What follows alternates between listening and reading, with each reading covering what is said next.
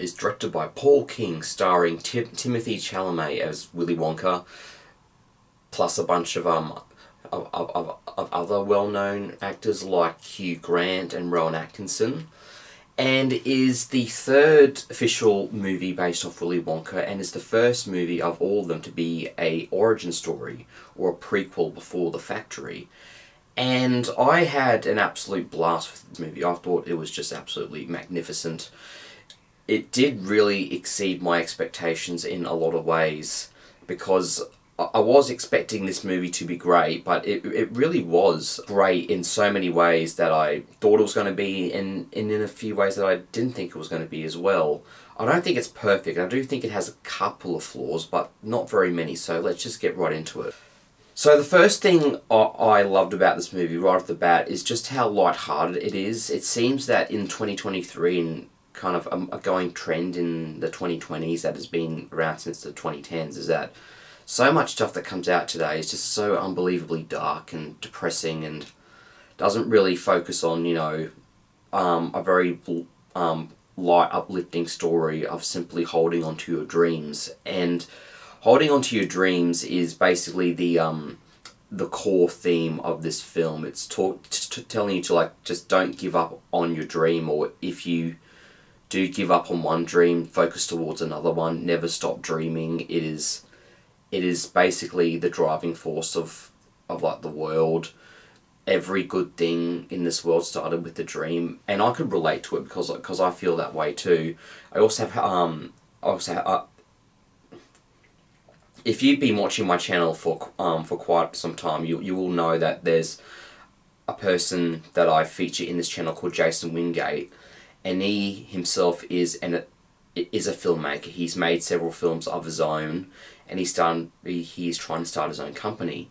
He does have financial struggles as well, but I feel like this would be the type of movie that he would love too because he hasn't let go of his dream. He's still dreaming towards towards greatness, towards success, and I that's something that I can just get behind because I I believe in it too, and I think it's just a very clear message that this movie was trying to tell, and it did it in such a beautiful and such a unique yet very easy to understand and easy to get behind way which is which is which is awesome. And also this film is is a musical and I think it is probably the best musical I've seen since La La Land in 2016 it might even be better in that aspect. I mean, La La Land had some incredibly catchy songs.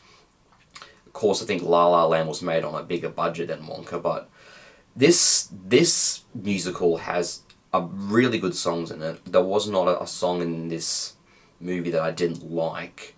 Of course, there are some that are better than others.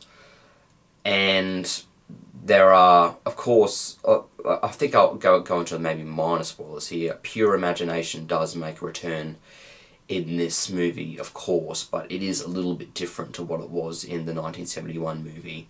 But there are quite a few songs in here too, um, and the, the, the majority of them are very well done and very well produced. Also, this movie looks absolutely gorgeous. It, it, it It's just a beautiful looking movie. The, um, the candy looks incredible the, um, the setting looks incredible. The production design of some of these sets are just off the charts. It is a really good looking movie and it's also quite funny as well. Hugh Grant gets some great moments as the Oompa Loompa. I think something, my only real complaint about this movie is that I thought there were going to be more locations in this movie. It kind of shows you that, that Wonka goes to Oompa Loompa land, but it still doesn't show very much of what that's all about. You still saw more in the Charlie, Charlie and the Chocolate Factory film. And I was expecting this version to be a bit more fantastical, a bit more wacky, and yet you don't see much of it, which I thought was a bit disappointing. The, the, the movie also, half of the movie is having Willy Wonka imprisoned in this, um, in kind of like this, this laundry washing uh, building and I felt like him being under under the prison rule of this woman did go on for a bit too long before he breaks free. I won't spoil anything else. And and of and and the movie is a bit limited to to the town as well. There aren't that many other locations outside the town.